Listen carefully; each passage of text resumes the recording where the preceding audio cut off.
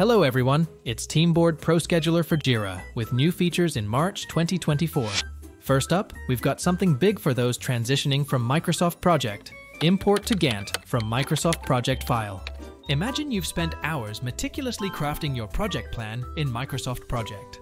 Now, instead of starting from scratch in ProScheduler, simply import your existing project file. With just a few clicks, simply import your .mpp or .mpt files and watch your Gantt chart fill up with all your project details. All tasks, deadlines, dependencies seamlessly transferred, saving you valuable time and effort. Your project stays on track without any data loss or confusion. No more manual recreation. But that's not all. We're introducing Planning History, Changes Log.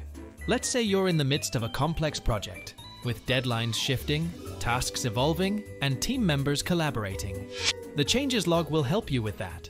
Who made the change? When was it made? What was the impact on the timeline? All questions are answered with a glance.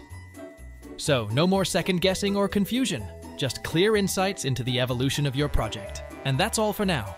TeamBoard ProScheduler, powering your project management journey. Check it out now.